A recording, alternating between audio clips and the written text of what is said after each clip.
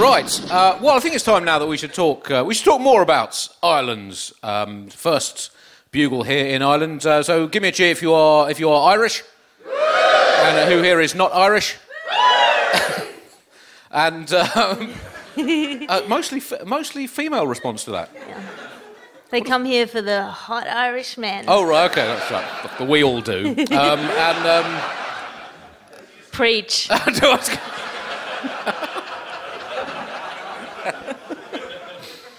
Uh, because I'm, uh, I'm uh, as you as you all know, I'm, I'm from England, and we we, we we share elements of of our of our past clearly.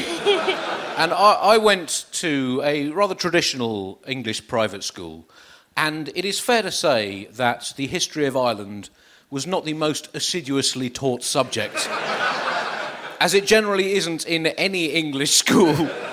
And that uh, it has in common with, for example, any other thing we may be embarrassed about from our history. And in fact, I have the, uh, the school textbook uh, of the um, history of Ireland for English schoolboys. Here it is. It's basically all I was taught. All I was taught about Ireland at school. It was quite nice. Then something went wrong with the potatoes. The end. So. So, David, I mean, I, I, I left my school. So I went to a very, very, uh, very good school in many ways, but it did leave me with certain gaps in my knowledge of the world. For example, well, clearly the entire history of Ireland and the other side of the British Empire um, left me with gaps about, for example, how to rewire a plug, how to change the tyres on a car, how to talk to a girl, um, what to do to a girl once I'd talked to it. Um, do, do, do, they, do they need feeding? Do, do, do they osmose? Um, um, so huge gaps in my knowledge of the world, albeit that I was able to express those gaps in grammatically perfect Latin. So, absolutely, thank you very much. But, so, David, uh, can you, for, my, for, for an ignorant Englishman, please ex- explain a little bit about the, the history of Ireland? Chris, could you put on a YouTube clip called Irish Music Sad?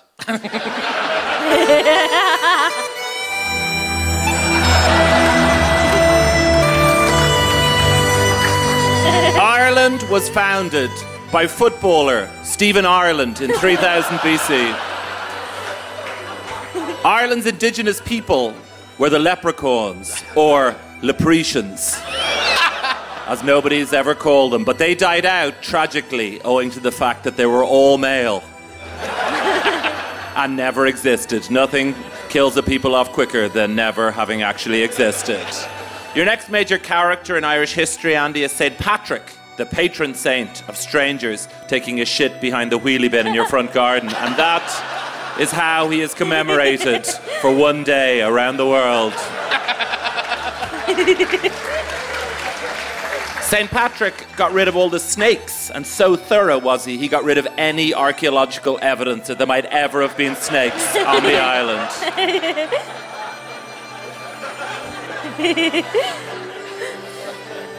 Around the first millennium saw the arrival of the Vikings.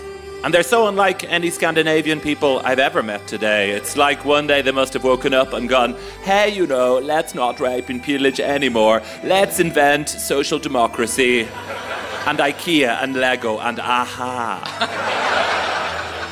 then nothing happened in Irish history for 600 years till the arrival of Oliver Cromwell in 1649. And he. he absolutely wrecked the place. Although seen as a modernizer in Britain, still seen as that today, in Ireland, he is seen as a genocidal head. Potato, potato. who caused a population drop off that some expert put as high as 83%! 83% of the Irish population! Thanks, Cromwell, you barrel of rancid wangers.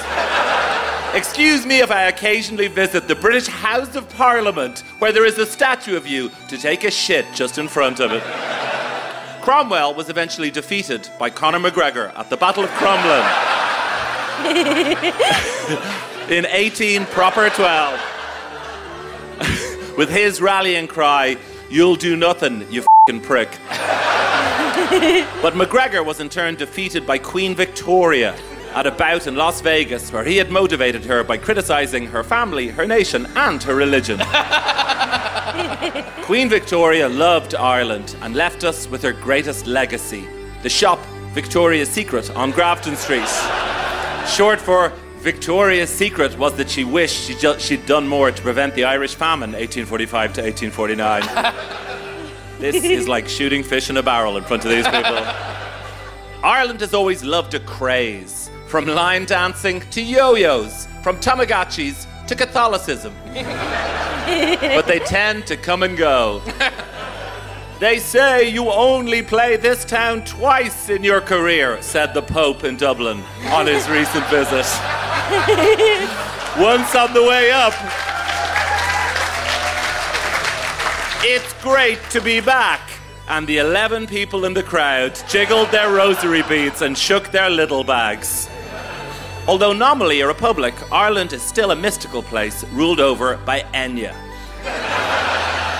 I've never met Enya, but apparently you can recreate the feeling of meeting her if you put your peen slash lady peen in a Dyson Airblade.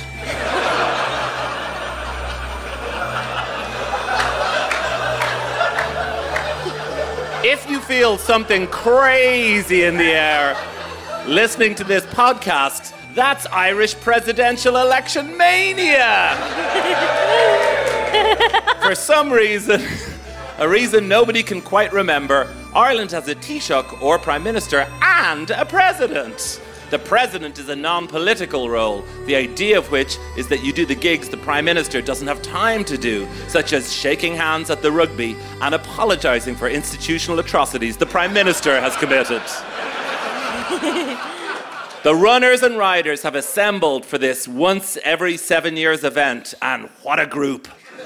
There's the incumbent, Michael D. Higgins. a tiny wizard poet who negotiated the tricky events of the last seven years with aplomb. He hosted the Queen's first ever visit to Ireland without giving her a wedgie. and commemorated the centenary of the 1916 Rising without mentioning that he'd love to give the Queen a wedgie.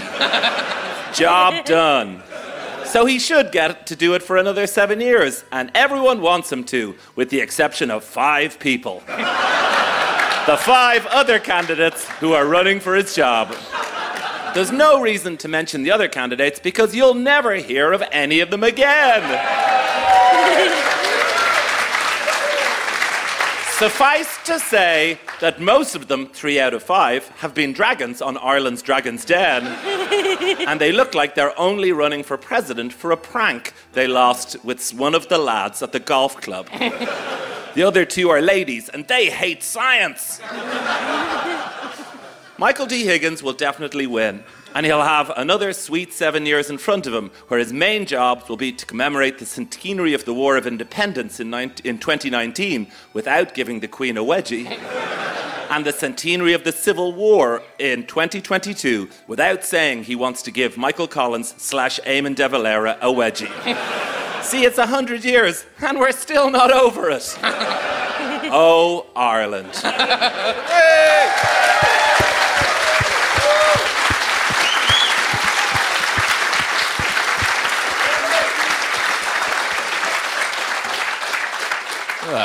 Who said comedy can't be educational?